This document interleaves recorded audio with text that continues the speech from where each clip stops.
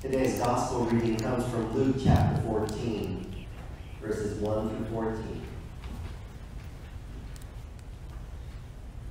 Hear the word of the Lord.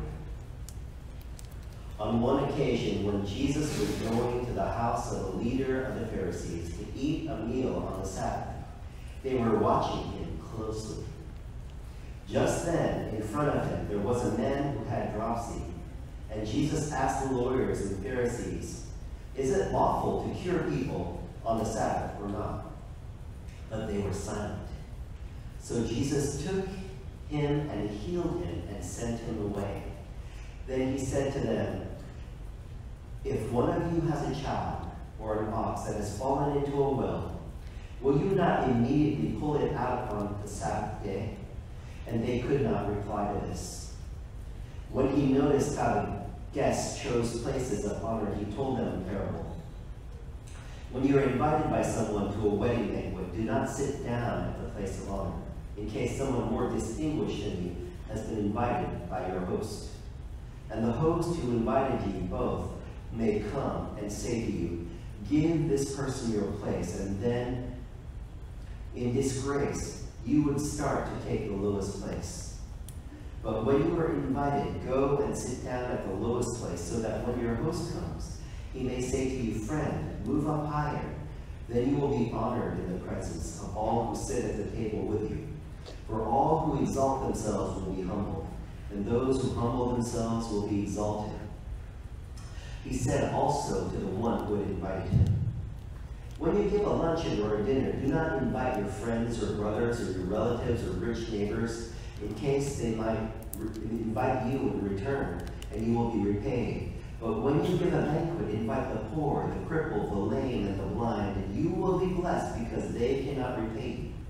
For you will be repaid at the resurrection of the righteous. One of the most famous proverbs of all, the first part is, pride goes before a fall. It's Proverbs 16, 18. It's pride goes before destruction, a haughty spirit before a fall.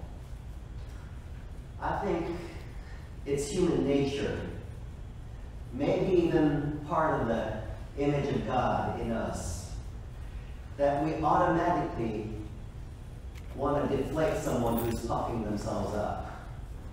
You want to, when someone's just really building themselves up, you just want to kind of poke at that and say, you know, come down to earth, come on. um, there's something about an arrogant spirit that just grates against the spirit, and you just don't want to spend time with that person very much. Well, you may be surprised, but Jesus ate also, not just with sinners, not just with tax collectors and, and regular people, but with Pharisees. Remember, Jesus has fans among the Pharisees too. When Jesus died and all his disciples, his inner circle, deserted him, it was Nicodemus that showed up to collect his body. It was Joseph of Arimathea, both of them Pharisees, who had a new tomb ready for Jesus when he passed. And they believed in secret while Jesus was ministering, but when he died, they came public and they showed him what honor they could in his death. But this man at the party it may not have been a friendly invite because this man with dropsy appears and the people are watching him carefully, it says. It could have been a family member of this prominent Pharisee, but after Jesus healed him, he sent him away. Probably not a family member.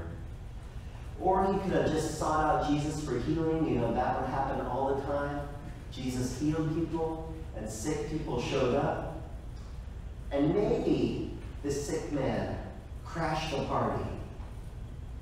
But maybe he was planted there. Because Jesus had just healed two other people on the Sabbath. One man was healed in chapter 6, he had a paralyzed hand in the synagogue. And the people were outraged because Jesus healed him on the Sabbath. And when there was a woman in just the chapter before who was hunched over and stooped and she could not stand straight, and Jesus set her free and she could stand up straight. The Pharisee, the synagogue leader was so upset he said, There are six days on which to be healed. Come on those days. But on the Sabbath, remain holy and do not work, and don't make the master work. Jesus, with this man with dropsy, a man who was swollen with fluid somewhere in his body and has an insatiable thirst because all the water goes somewhere and it swells up and disfigures the person. He says to him, after he's healed, healed, go your way. And he says to the Pharisees, if your son fell into a well on the Sabbath, wouldn't you lift them out on that day? Wouldn't that even be the right thing to do? If one of your animals falls into a well, isn't it the right thing to do to rescue that animal and give it its freedom that day? And don't you every Sabbath untie your ox and lead it to water so that it can drink? It's the right thing to do. But they were watching him anxiously, saying, Is he going to heal on the Sabbath? Is he going to do work on the Sabbath? Because that's against the law.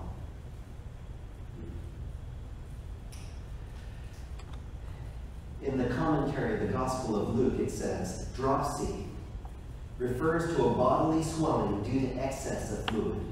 It causes insatiable thirst in the body that is already retaining too much fluid. Dropsy was used as a metaphor for greed, the same condition which the Pharisees were criticized for by Jesus in Luke 11 and Luke 16.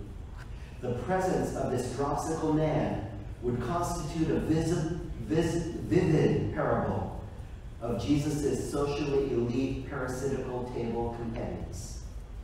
Just as in front of Jesus stood a man who had dropsy, so around the table sat persons whose disorder was no less self-detrimental. As Jesus moves to heal the one, so with regard to the others is diagnosed, diagnosis pronounced and the prospect of health extended. So the sick man with insatiable thirst and swelling is healed. But there are spiritually sick people who are swollen with pride and the lust for power and presence, and Jesus gives them the cure. These are people just like us. One might hate to admit it, but everybody loves praise. I love to be honored and recognized. It's part of being human. It's a need to be valued, a need to be loved. So we invite people that we value to our dinner parties, people who we know are funny and enjoyable to spend time with, people we know will invite us back and we can have another good time later. We invite the right people that will improve our fellowship and can invite us back someday. We invite those who invited us so that we can repay a debt because we don't want to owe to anybody. These are social conventions.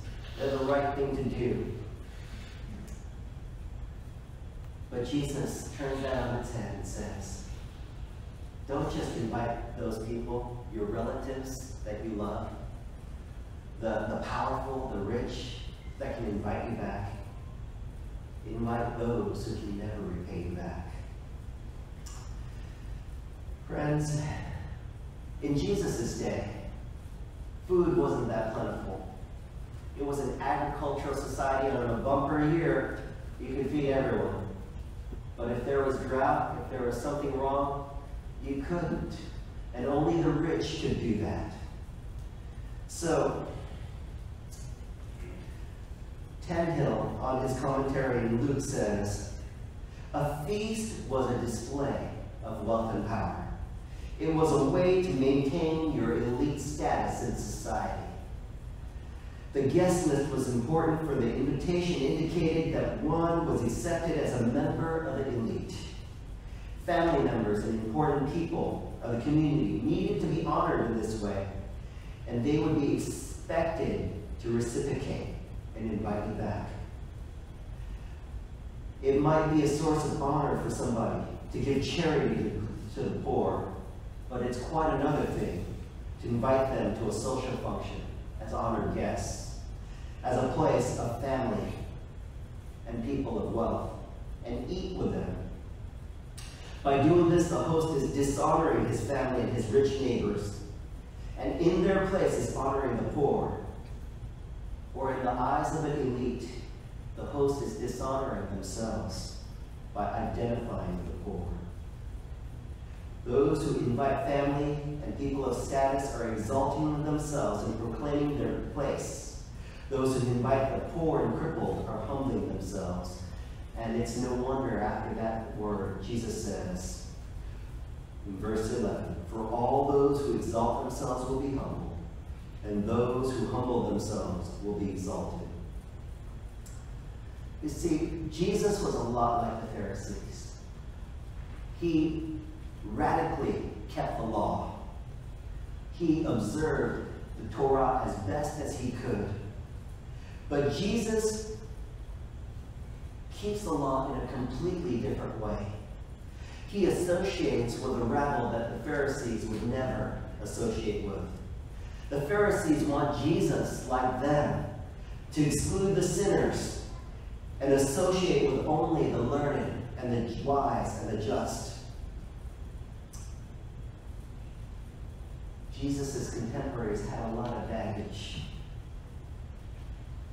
We don't carry as much, but you know what? We're much the same.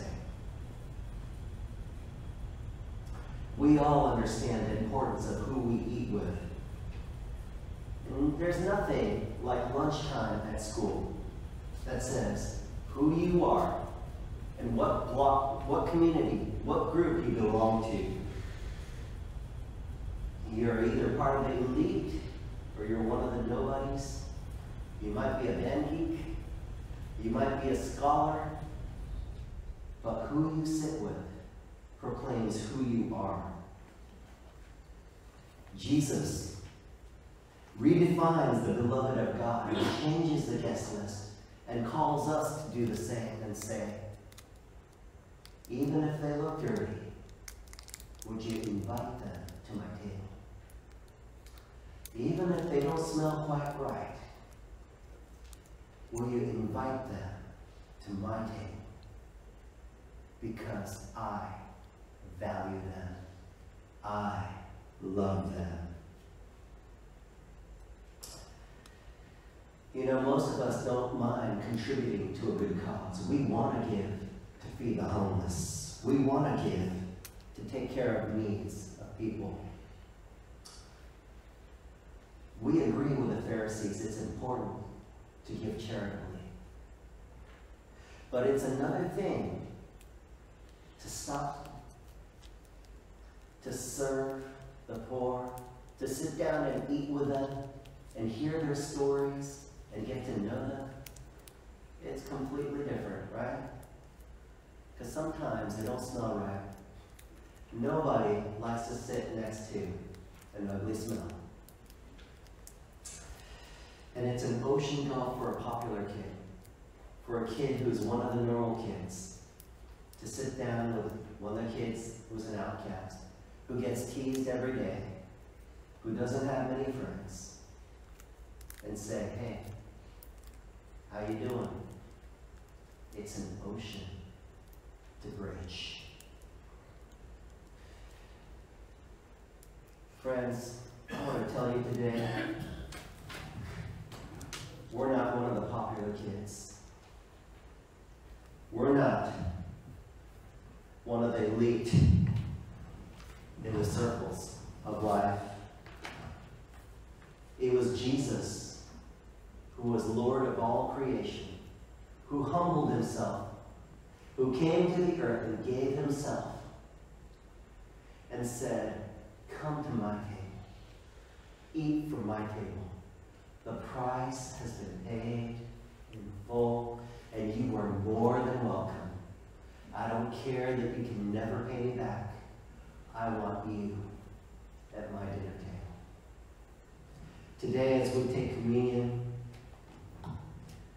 let's give thanks that God has invited us. Not because we're the socially elite, not because we stand on par with Christ, but because simply He loves us and has called us to dine with Him. Amen. Amen. And next month, when we take communion again, would you consider inviting somebody else? Somebody maybe who says, I can't go in the church. God would strike me with lightning. I can't go to church. You don't know the things I've done. Would you invite somebody who doesn't think that they believe it or deserve it? Because God has paid the price. Jesus has paid every price and has invited all of us to his table. Amen?